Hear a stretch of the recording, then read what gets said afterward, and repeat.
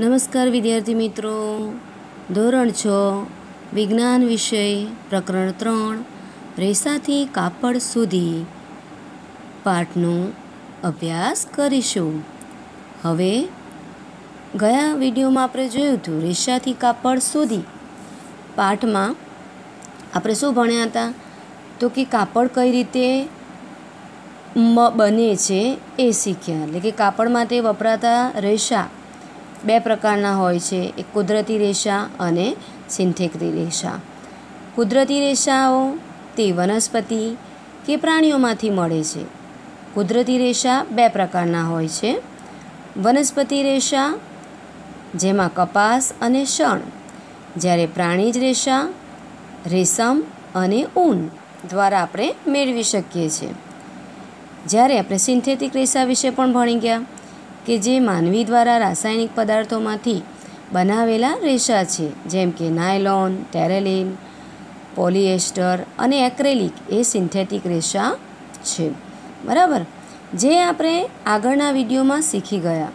જેમાં આપણે કુદરતી રેશાઓની વાત કરતા હતા કે કુદરતી રેશાઓમાં વનસ્પતિ જ રેશાઓ, જેમાં કપાસ કઈ રીતે મળે છે, એનો આપણે અભ્યાસ કર્યો. કપાસમાંથી એનું ખેતર કેવું હોય છે એ ફોટા દ્વારા જોયું. એમાંથી રૂ કેવી રીતે બનાવવામાં આવે છે, રૂને પીંજવામાં કઈ રીતે આવે છે તે આપણે જોઈ ગયા. હવે આપણે જોવાનું છે વનસ્પતિ રેશાનો બીજો ભાગ, શણ. તો શણ કેવું હોય છે? તો જુઓ, આ એક શણનું ખેતર છે. બરાબર, શણના છોડ છે. તો શણના છોડ કેવી રીતે? તો કે ભાઈ શણના છોડના પ્રકાંડમાંથી શણના રેસા મેળવાય છે. તેને આપણે ચોમાસામાં ઉગાડવામાં આવે છે. ભારતમાં મુખ્યત્વે પશ્ચિમ બંગાળ, બિહાર અને અસમમાં ઉગાડવામાં આવે છે. જ્યારે ફૂલ આવવાનો તબક્કો હોય, ત્યારે સામાન્ય રીતે તેની લણણી કરવામાં આવે છે. લણણી કરેલા છોડને થોડા દિવસો સુધી પાણીમાં ડૂબાડી રાખવામાં આવે છે. આ જે ચિત્ર છે એ શું છે? કે છોડના જે પાન છે, એને પાણીમાં ડૂબાડેલા છે અને થોડા દિવસો સુધી એની અંદર પાણીમાં જ રહેવામાં, રહેવા દેવામાં આવે છે. ત્યાર પછી શું થશે? તો કે જ્યારે પ્રકાંડ સડી જશે, એટલે કે કોવાઈ જશે, ત્યારે એમાંથી રેસાઓ હાથ વડે છૂટા પાડવામાં આવે છે. એટલે આ આપણે જોઈએ છીએ કે હાથ વડે એમાંથી રેસાઓ છૂટા પડે છે. અને એ હાથ વડે છૂટા પાડેલા રેસાઓને આ રીતે ભેગા કરવામાં આવે છે અને સુકવણી થાય છે અને ત્યાર પછી આપને આમાંથી શણ મળે છે. બરાબર? એટલે આપણે આ શણને ખૂબ સરસ રીતે ભણ્યા કે શણ આપણને આ રીતે મળે છે. બરાબર? ત્યાર પછી છે હવે કપાસના તાંતરાનું કાટણ. તો કપાસના તાંતરાનું કાપણ આપણે કઈ રીતે કરી શકીએ? તો એના માટે આપણે જોઈશું. કપાસના તાંતરાનું કાટણ કઈ રીતે થાય છે, તો એ સમજવા માટે આપણે એક પ્રવૃત્તિ જોઈશું. રૂના રેસાઓમાંથી તાંતણો બનાવવો એક હાથમાં રૂ કે રૂની પૂણી લો. બીજા હાથથી ની ચપટી વડે રૂને પકડી તેને વડ ચડાવતા ચડાવતા હળવેથી બહાર તરફ ખેંચવાની શરૂઆત કરો. શું થાય છે તે જુઓ. રેસાઓ જોડાઈને મજબૂત તાંતડો બને છે. રૂના રેસાઓમાંથી તાંતડો બને છે એટલે કે આ રીતે આપણે રૂ આગળના ચેપ્ટરમાં ભણ્યા કે રૂ કઈ રીતે બને છે એ શીખ્યા. તો હવે રૂમાંથી તાંતડો કઈ રીતે બને છે? એ આ પ્રક્રિયા દ્વારા આપણે શીખી શકીએ.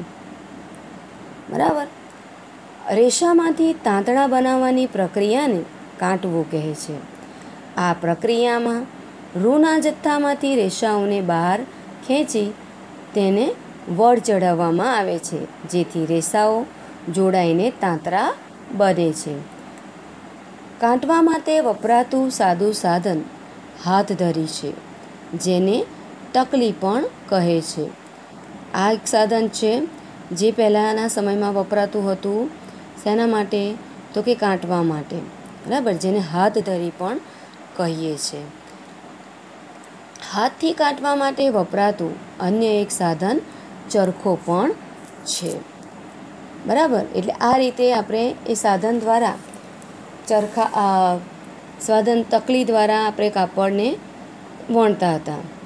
ત્યાર પછી છે, શું કહે છે? કે એક ચરખો સાધન. ચરખાનો ઉપયોગ કોણ કરતું હતું? તો કે ગાંધીજી. કઈ રીતે કરતા હતા? તો એ જોઈએ.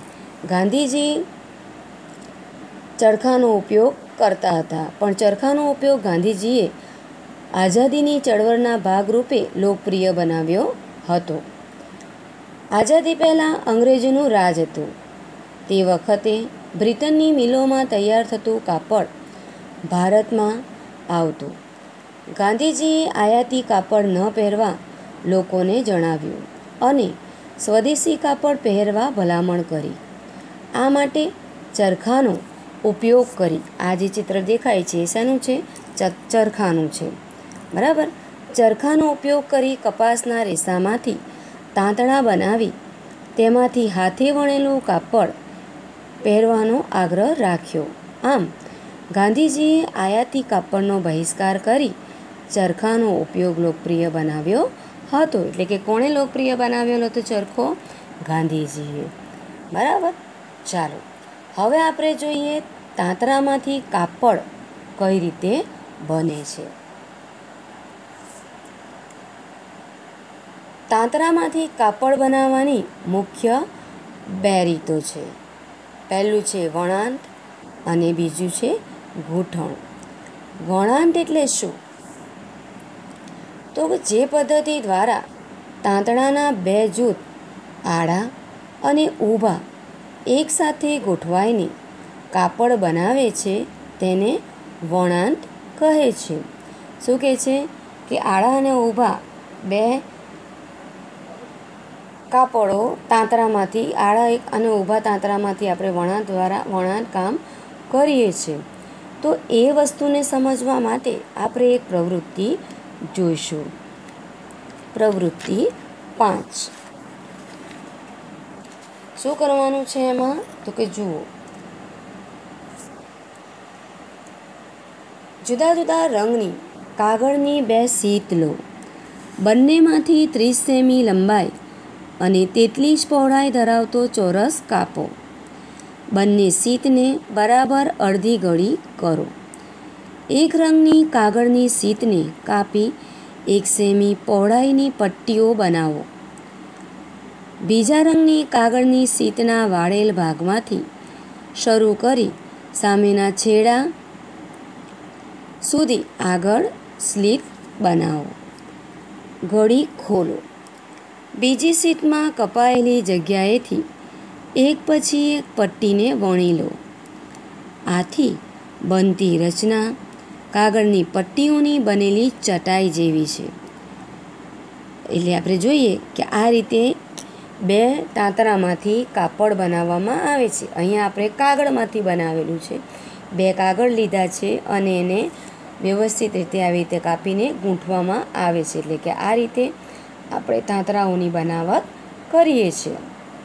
બરાબર? હવે આપણે જોઈશું તાંતરામાંથી કાપડ કઈ રીતે વણવામાં આવે છે. જુઓ. તાંતરામાંથી કાપડ વણવા માટે હાથસાર કે વીજળીથી ચાલતી પાવરલૂમનો ઉપયોગ થાય છે. હાથસાર પર તાંતરા ઊભા લાઇનમાં પાસ પાસે ગોઠવવામાં આવે છે. ઊભા લાઇનના તાંતરાની વચ્ચે આડા તાંતરા એવી રીતે ક્રમાનુસાર પસાર કરવામાં આવે છે, જેથી ચટાઈ જેવી રચના થાય છે. આપણે આગળની પ્રવૃત્તિમાં જોઈએ કે ચટાઈ કઈ રીતે બનાવવામાં આવે છે, તો એ જ રીતે કાપડ પણ બનાવવામાં આવે છે. આમ, તાંતણાના બે જૂથની ઊભી અને આડી ગોઠવણી વડે કાપડ તૈયાર થાય છે. આ પદ્ધતિને વણાંત કહે છે.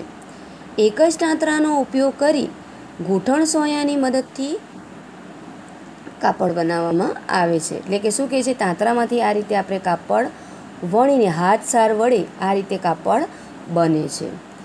ત્યાર પછી છે બીજું ગૂંઠણ ગૂંઠણ એટલે શું?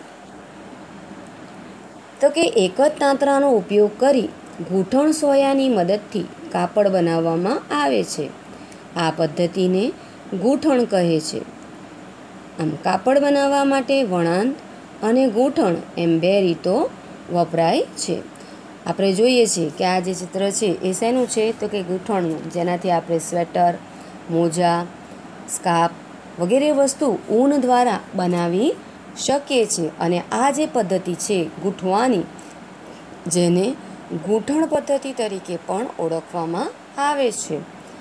હવે આપણે જોઈશું કાપડના મટીરિયલનો ઇતિહાસ. આ કાપડ કઈ રીતે તૈયાર થાય છે? પ્રાચીન સમયમાં લોકો વૃક્ષની છાલ અને મોટા પાંદડા કે પ્રાણીઓનું ચામડું અને તેમની રૂવાટીનો ઉપયોગ પોતાનું શરીર ઢાંકવા માટે કરતા હતા. કૃષિ સમુદાયમાં એ પહેલાં શું હતું કે પ્રાણીઓની રૂવાટી કે વાળને એકબીજા સાથે વીંટાણીને લાંબા ટાંતળા બનાવતા હતા અને તેમાંથી કાપડ વણતા હતા. ત્યાર પછી ઇજિપ્તના નાઇલ નદીની નજીક કપાસ સાથે સણ પણ ઉગાડવામાં આવતું. તેનો ઉપયોગ કાપડ બનાવવા માટે કરવામાં આવતો હતો. તે સમયમાં સીવવાની કળા જાણમાં ન હતી. લોકો પોતાના શરીરના વિવિધ ભાગને ફરતે કાપડ વીંટાળી ઢાંકતા. કાપડને વીંટાળવાની ઘણી જુદી જુદી રીતો વાપરવામાં આવતી હતી. સીવવાની સોયની શોધ થતાં લોકોને કાપડને, સીવીને કપડાં બનાવવાની શરૂઆત કરી. આ શોધ બાદ સીવેલા કપડાઓમાં ખૂબ જ વિવિધતા જોવા મળી. આધુનિક સમયમાં ડિઝાઇનરે ડિઝાઇન કરેલા સીવેલા કપડાનો વપરાશ થાય છે. એટલે કે આ રીતે કાપડ મટીરિયલનો ઇતિહાસ આપણે શીખ્યા. હવે આપણે આ પાઠમાં હાથસરના ઉદ્યોગો કઈ રીતે ચાલે છે, કપાસમાંથી રૂ અને એમાંથી તાંતણા કઈ રીતે બનાવવામાં આવે છે, એ ઘણી બધી માહિતી શીખી ગયા. હવે આગળ નવો પાઠ આપણે નવા વિડીયોમાં જોઈશું. Bye bye.